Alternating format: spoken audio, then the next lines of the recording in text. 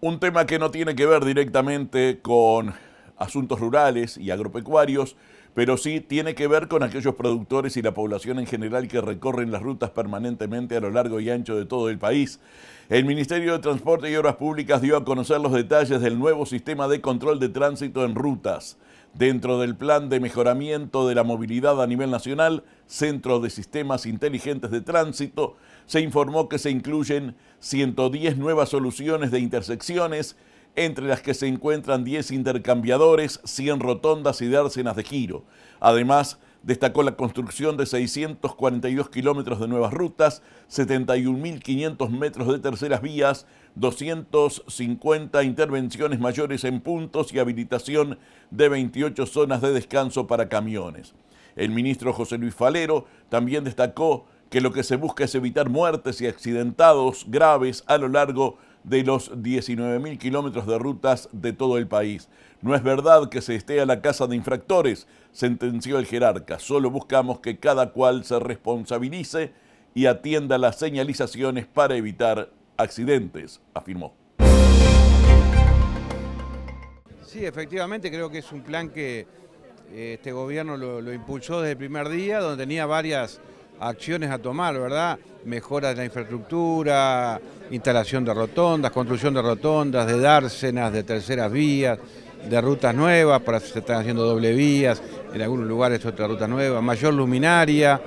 Eh, hay un número de medidas y en aquellos lugares donde no es desde el punto de vista de ingeniería eh, factible la instalación de, una rotonda o es necesario que un tramo es muy largo donde hay riesgo de vida, ahí se ha sugerido la colocación de radares que bueno, tenemos que tener presente simplemente que en esos lugares tenemos que andar un poquito más suave, de acuerdo a lo que dice la. donde, donde siempre se dijo este, la cartelería hay que cumplirla. Usted ha insistido en su presentación que no es una cacería de infractores, y eso es bueno resaltarlo, ¿verdad? Por eso hemos sido eh, muy rigurosos en lo que hace a que se coloque la cartelería a la distancia adecuada, que tenga una buena señalización, que no digamos, este, me pescaron. No es un inspector atrás de un árbol eh, con un radar. Esto es una señalización horizontal, vertical, eh, con la cartenería que está diseñada para eso y obviamente con el cuidado que debemos tener todos quienes circulamos, que en esos tramos, que no, nunca, no son más de 800 metros, un kilómetro máximo, es porque ahí se perdieron vidas, ahí hay que disminuir, no es bajar a cero, no es poner un semáforo, no es poner una, un, un lomo de burro, sino que sentido que es más prudente que todo siga la movilidad normal a una menor velocidad en ese tramo y después normalmente podemos seguir a la velocidad que está autorizada por la Reglamentación Nacional de Tránsito, 90, 110, depende del, del lugar donde se ubique. Bueno, recordar que eh, existe una especie de tolerancia o de margen entre la eh, velocidad que se indica y la que en definitiva transcurre el vehículo. Eh, ¿cómo, ¿Cómo se va a coordinar eso? Bueno, el error de margen de este equipamiento que hemos traído es mínimo, este, no supera del 10%, este, o sea que es muy poco el margen que tenemos ahí. No, no se confíe en la tolerancia porque es muy exacto el radar. Este, lo que sí la sanción es gradual, ¿verdad? Si, si te excedes este, 20 kilómetros más de lo que está permitido, tiene una sanción, creo que es de 5 unidades reajustables, lo que está establecido en, la, en el decreto y este, nosotros vamos a cumplir el decreto que, que, se nos dé, ¿verdad? Y a partir de ahí, si el exceso es mayor, puede pasar a, a, a otro monto y, este, y si es el doble inclusive puede pasar a la, a la vía judicial, ¿no? ¿Estas medidas irán acompañadas de una campaña de, de, comunicación?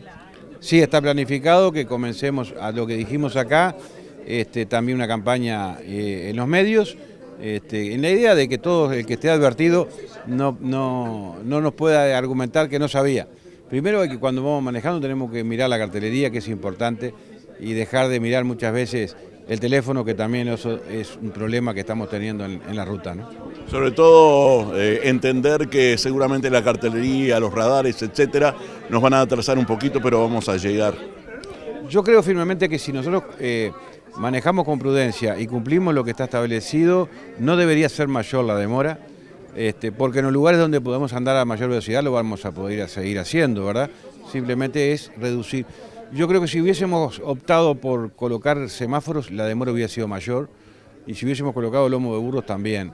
y si hubiésemos colocado más rotondas todavía también, porque se demora más en un cruce cualquiera de estos tres este, instrumentos que, lo de los radares, que es disminuir gradualmente en ese tramo y después seguir normalmente.